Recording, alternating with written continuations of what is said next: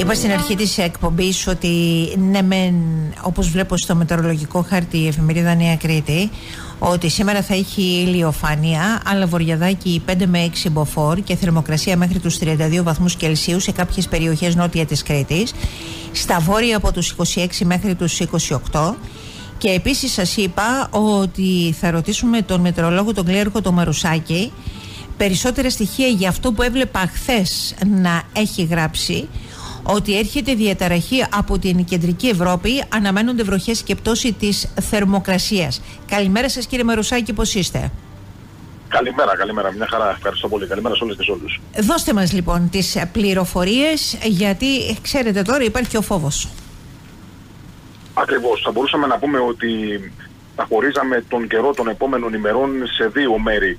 Το πρώτο μέρος αφορά το διάστημα από σήμερα αύριο μέχρι και την Κυριακή περίπου, όπου ο καιρός πραγματικά θα θυμίσει καλοκαίρι σε πολλά γεωγραφικά διαμερίσματα. Το κύριο χαρακτηριστικό θα είναι η σημαντική άνοδος θερμοκρασίας. Θα δούμε δηλαδή Παρασκευή, Σάββατο, ακόμη όμως και την Κυριακή οι θερμοκρασίες κοντά στους 34 με 36 βαθμούς Κελσίου. Άρα λοιπόν καταλαβαίνουμε καλοκαιρινός καιρός, ό,τι πρέπει για θάλασσα. Οι θάλασσες μας ακόμη είναι αρκετά ζεστές και κάποιες πόρε θα εμφανιστούν σήμερα και αύριο προς τη βόρεια και κεντρική υπηρετική χώρα δεν θα προβληματίσουν ιδιαίτερα. Αυτό λοιπόν είναι το πρώτο κομμάτι, το οποίο αφορά το διάστημα από σήμερα αύριο μέχρι και την Κυριακή. Στη συνέχεια όμως φαίνεται ότι αυτές οι πολύ θερμές αέριες μάζε μας έρχονται από τις ακτές της Βόρειας Αφρικής θα τις διαδεχτούν αρκετά πιο ψυχρές ε, από την περιοχή της κεντρικής Ευρώπης. Στην ουσία πρόκειται για ένα οργανωμένο βαρομετρικό χαμηλό που θα δραστηριοποιηθεί τις αμέσως επόμενες ημέρες προς τη βορειοδυτική και κεντρική Ευρώπη αυτό θα έχει σαν αποτέλεσμα να κατέβουν πιο ψυχρές αέριες μάζες προς την περιοχή της Ιταλίας και εκεί θα οργανωθεί ένα βαρομετρικό χαμηλό για να μας απασχολήσει από το βράδυ της Κυριακής, αλλά κυρίως θα λέγαμε την τελευταία εβδομάδα του Σεπτεμβρίου. Είναι μια κυκλοφορία η οποία θα δώσει λοιπόν και πάλι ένα ισχυρό βαρομετρικό χαμηλό προς την πλευρά του Ιωνίου Πελάγους. Θα στροβιλιστεί για αρκετές ημέρες στην αυτή περιοχή και θα απασχολεί ε, αρκετές περιοχές της χώρας μας, δίνοντας και μεγάλα ύψη βροχής, αλλά σαφώς βέβαια ε, και πτώση της θερμοκρασίας. Θα πάμε σε πιο σαφώς πιο φθινοπορεινές θερμοκρασιακές τιμές. Επηρεάζει όλη την Ελλάδα. Μπορεί τα χαρακτηριστικά του να επικεντρώνονται, τα βασικά του χαρακτηριστικά, η ένταση των φαινομένων στο Ιόνιο, που και εκεί δεν σηκώνουν πολλά τα νησιά, αλλά θα μετακινηθεί προς τα ανατολικά, προς την κεντρική χώρα, προς τα νότια, προς εμάς; Βεβαίως. Φαίνεται λοιπόν ότι θα, ενώ θα στροβελίζεται προς την περιοχή του Ιωνίου Πελάγους, θα παίρνει ενέργεια και υγρασία από το θερμό ε, έτσι, πέλαγος του Ιωνίου. Θα έχουμε λοιπόν κατά διαστήματα περάσματα με βροχές και καταιγίδε σε πολλές περιοχές της χώρας μας. Πιο πολύ θα λέγαμε το Ιόνιο, τα υπηρετικά, ακόμη και τα νησιά του Ανατολικού και Βόρειου Αιγαίου φαίνεται ότι θα επηρεαστούν από αυτήν ε, τη διαταραχή. Δεν έχει ακόμα βέβαια ξεκαθαρίσει το αν μέσα στην άλλη εβδομάδα θα διασχίσει όλη τη χώρα ή θα εκτονωθεί μέσα στο Ιόνιο και θα διαλυθεί εκεί, δηλαδή θα εξαφανίσει mm. προς την περιοχή του Ιωνίου Πελάγους, είναι κάτι το οποίο μένει να το δούμε με τα νεότερα προγνωστικά στοιχεία. Μάλιστα. Οπότε κρατάμε αυτές τις πληροφορίες ε, και έχοντας περισσότερα προγνωστικά στοιχεία στην ερχόμενη εβδομάδα βλέπουμε, στην επόμενη εβδομάδα βλέπουμε τι είναι αυτό που μπορεί να μας ή μάλλον ποιες περιοχές αναμένεται να επηρεάσει όπως ε, σωστά πρέπει να εκφραστώ από τη Δευτέρα αυτό το οργανωμένο βαρομετρικό χαμηλό.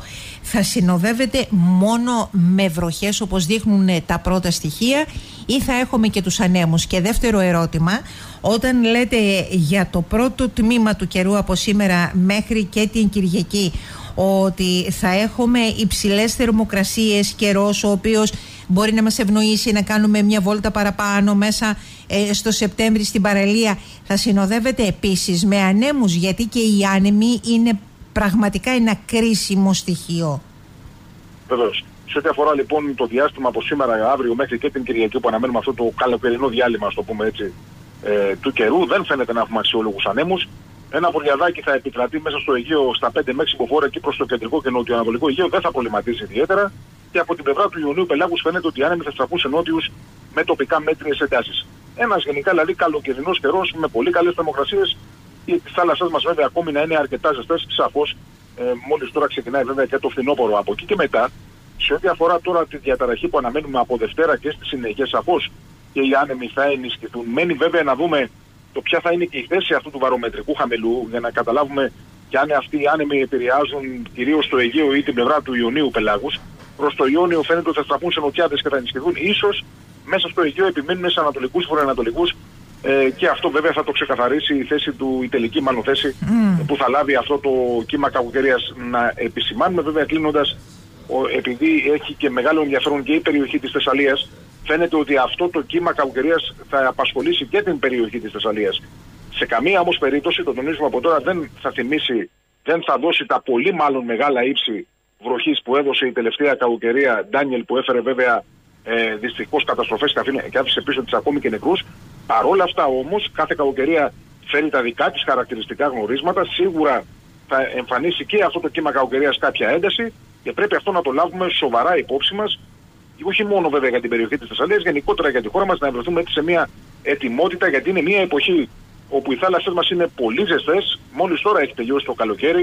Οι θάλασσές μας θα κρατήσουν θερμότητα και τους επόμενους αρκετούς μήνες. Θα βλέπουμε δηλαδή αρκετά ζεστές θάλασσες και αυτό βέβαια σημαίνει ότι καθώς κατεβαίνουν οι ψυχρές αέριες μάζες από τα βορειότερα έτσι πλάτη της Γυρία Επίρου, θα αλληλεπιδρούμε αυτές τις θερμές θάλασσες και θα δίνουν ισχυρά κύματα καγοκαιριών. Που αυτό βέβαια συνεπάγεται και δυνατές βροχές. Γι' αυτό λοιπόν πρέπει να είμαστε όλοι σε μια επιφυλακή και μια ετοιμότητα να αντιμετωπίσουμε και αυτό το κύμα κακοκαιρίας. Καλά, πήγαμε σε εκείνο το, το κεφάλαιο ετοιμότητα επιφυλακή, επιφυλακή ετοιμότητας που μας ακουμπάει, μας παίρνει και μας σηκώνει και μας πάει όπου μας πάει, κύριε Μαροσάκη, και γι' αυτό υπάρχουν αυτά τα οποία υπάρχουν και γι' αυτό υπάρχουν όλες αυτές οι πληγές που μετράμε ανά την Ελλάδα. Σας ευχαριστώ πάρα πολύ, κύριε Μαροσάκη. Καλημέρα σας από τον 984.